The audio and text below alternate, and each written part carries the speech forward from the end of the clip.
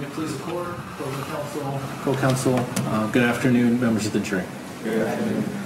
I first wanted to thank you uh, for your service this week. I can imagine uh, how difficult it's been uh, being away from your family uh, for the past several days. Uh, I, I, I can imagine that none of you thought that you would be here.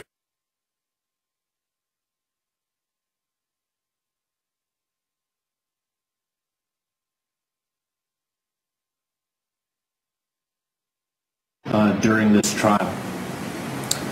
I told you on Tuesday morning um, that this case, there is no doubt that someone committed capital murder.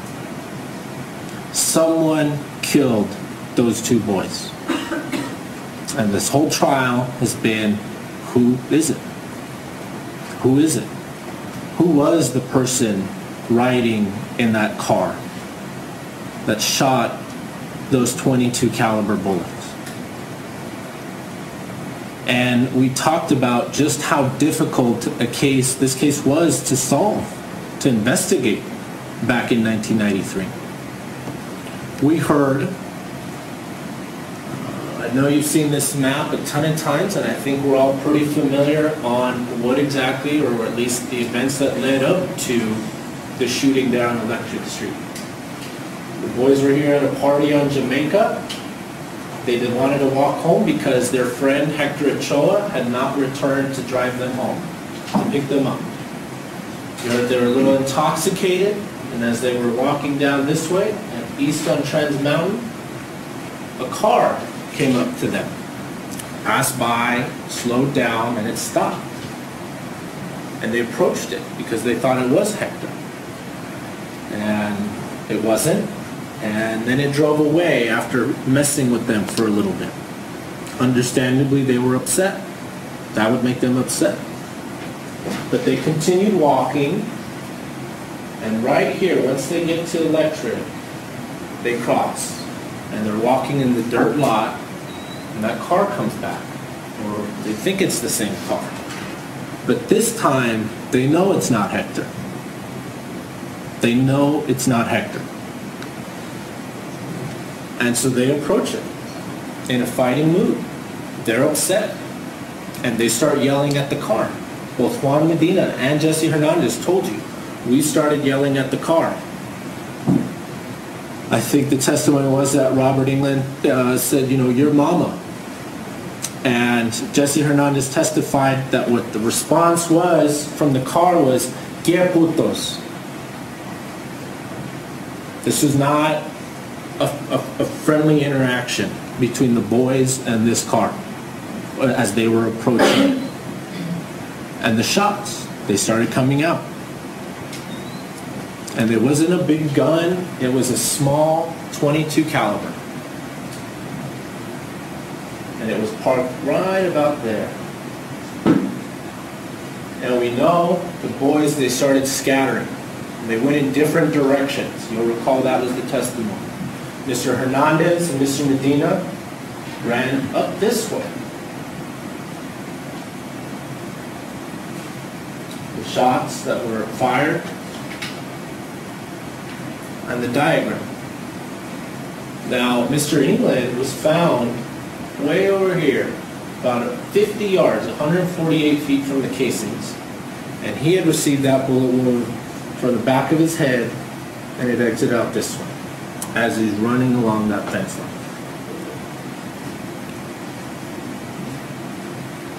Person that has the more interesting injuries, we know, is Armando Lazo. Because Armando Lazo was able to make it to this house here at 10,000 Oakwood. Now he's got this bullet wound here to his stomach, but the more interesting wound is this one here on his leg. The entry was on his inner left thigh, here. And it exited in the middle of his left thigh.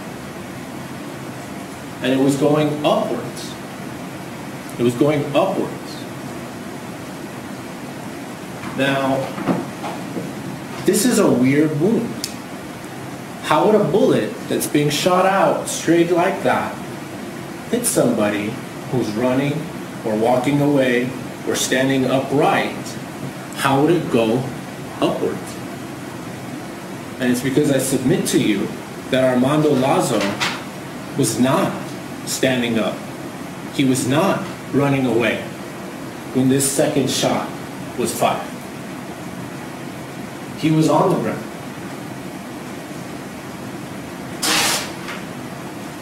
And that's important because you'll recall, and we'll get to that in a moment, what does the defendant tell David Rangel? I saw Lazo, he fell down, he got back up, he started running towards the house, and I went and shot him again. I went and shot him again. That's what he told David Rangel. That's why this injury is so important. Because Armando Lazo could not have gotten that standing up.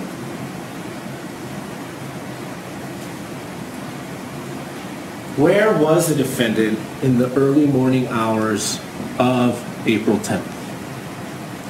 We heard from Officer uh, Reveles, who told you hours, three hours, about three hours after that Electric Street shooting, about 3 a.m., there was another police call in the defendant's neighborhood, right next to his house. And where did Officer Reveles go? He goes there, and what does he find? The defendant is outside with his two friends, Marcos Gonzalez and Rodney Williams. And he asks them, what's this deal with the shots? Where'd they come from? What happened? And they blow him off. Nothing. Nothing happened. Everything's cool. Everything's cool. No problems here. Little does Officer Reveles know. And what does he tell? Go inside. You and Marcos Gonzalez go inside Daniel's house, and Rodney will give you Rodney. I'll give you a ride back to your apartment. This is less than three hours and less than three miles away from the shooting on Electric Street. We know he's hanging out with those guys that night. And what else do we know about them? We know that they're V&E gang members. Okay? Uh, the defendant tells that to David Rangel. He tells you, I was with Marco Gonzalez and my other homeboys from V&E. And one of the defendant's own exhibits, exhibit defense exhibit number nine from the jail, shows you. He is a gang member. Keeps set from BLH because he's a V&E gang member. I don't think there's any doubt about that. That's who he's hanging out with. Those are his homeboys. And that's important because what does Angelica Hernandez tell? She's 15 years old. She's at North Park Mall with her friend. They go, they hang out to watch movies. And three guys, three guys approach them. And they tell them, she, they tell her, we're from V&E. We're V&E gang members. And we did the shooting. We shot those two boys. And she's scared. And she wants to leave. And they do leave. But she tells you the thing that she remembers the most is that the defendant was the most talkative of all the three of them, and that she remembers that he was the lightest skinned. And why is that important? We heard from David Ron Rangel that Marcos Gonzalez, uh, he, he's a bit dark. I think the word that Mr. Ron Rangel used was indigenous. You recall that? And, and he testified that Rodney Williams uh, is African American. And you can see the defendant here. He would be much lighter skinned than both Marcos Gonzalez and Rodney Williams. And we asked her, ma'am, why, why don't you report this to the police? Why does it take you so many years to come forward with this information? And what does she say? She says she didn't go to the police because she saw that they were arrested, that the defendant was arrested the next day. That's why she didn't go. Because she thought, well, they got him.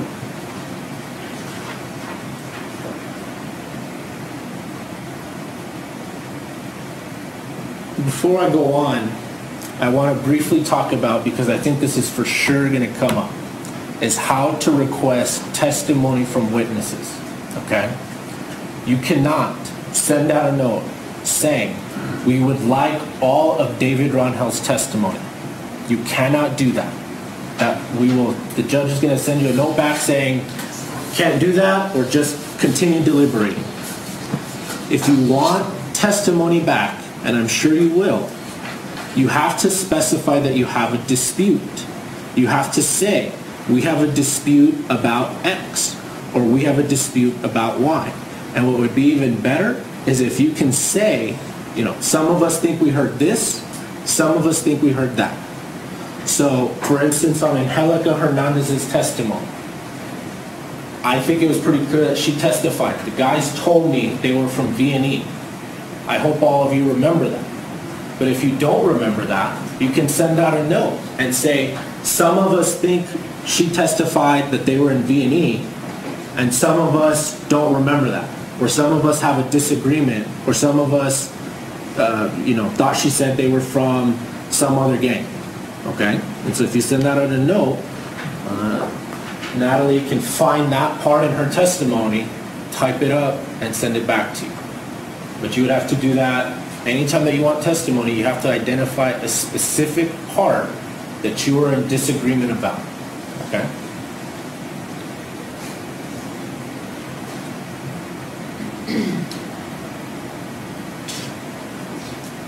Personally, I think this is the, one of the key questions in the entire case. How did the police know to go and find David Rangel? David Rangel testified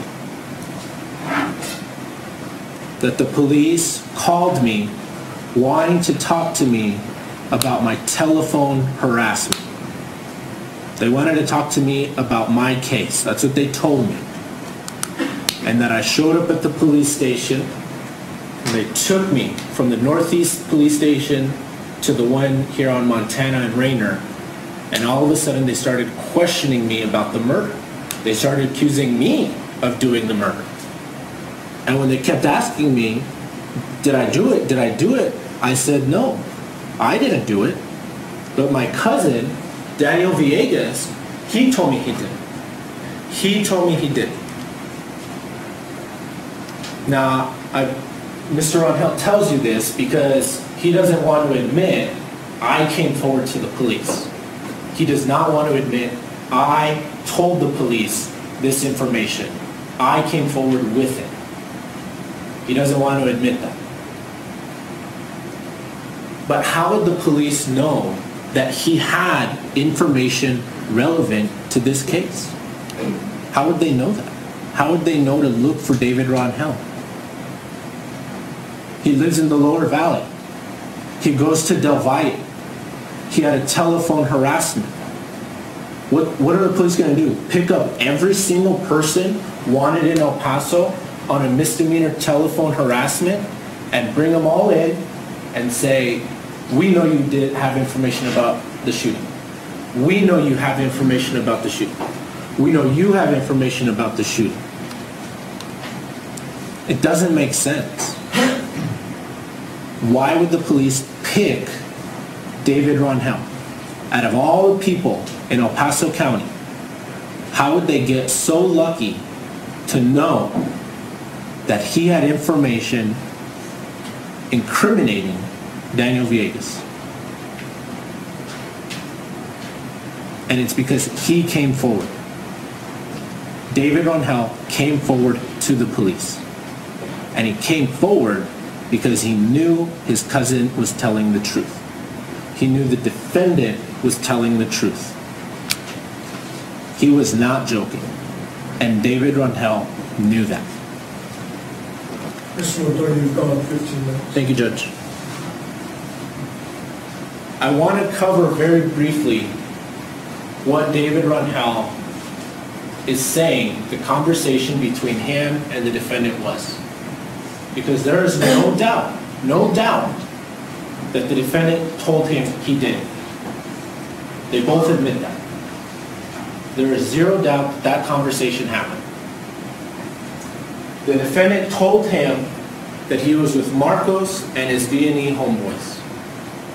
The defendant told him that he was passing by the group and that he recognized Mondo from Boomerangs. He told David Rangel that he stopped next to him, that he stopped next to the group. He told them that this group was throwing ECH. And why is that important? When you look at those newspaper articles, ECH isn't anywhere in them. That is a detail that had to come from the defendant. Juan Medina told you, people often thought I was an ECH. I lived in, in the Eisenhower uh, projects. I associated with ECH members. And what else does he tell you?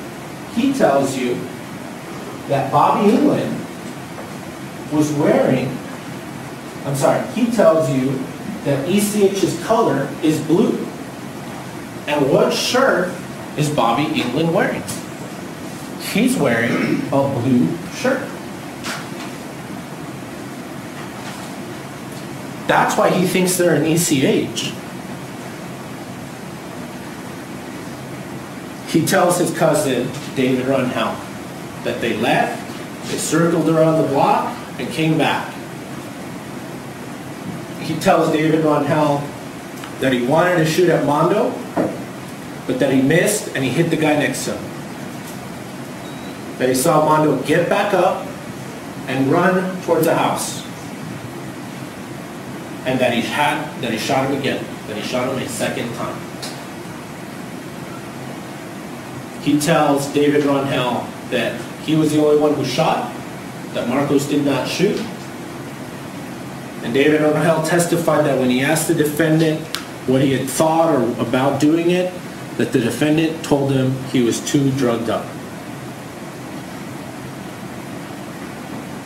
He said these things.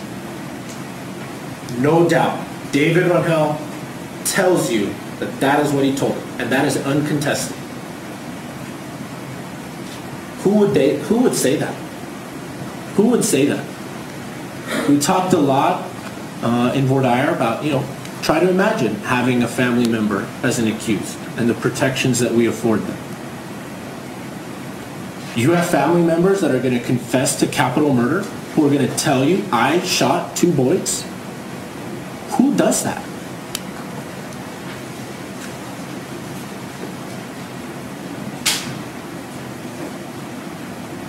And ask yourself this about Oscar Gomez.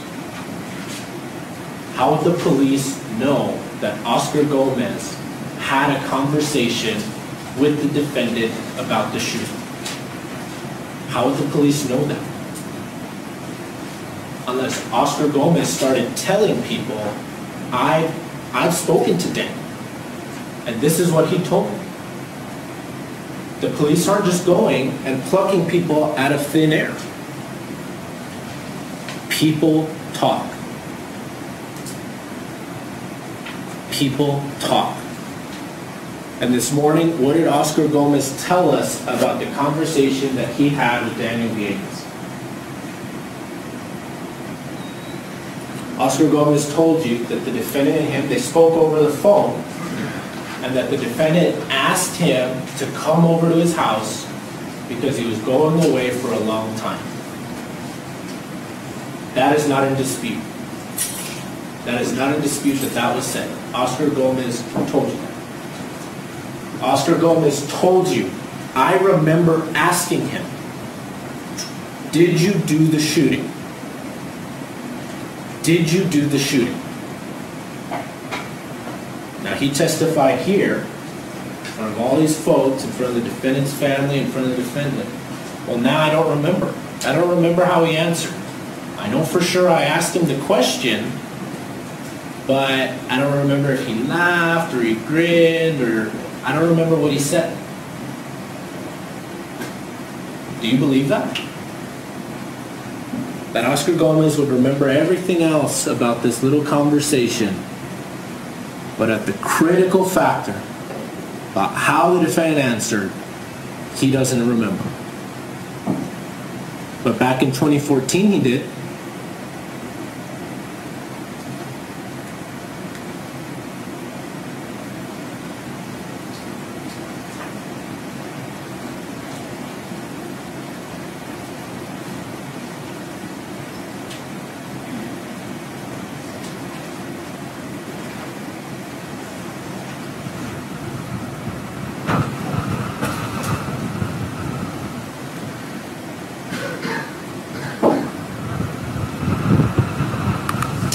I really hate that the audio is not working.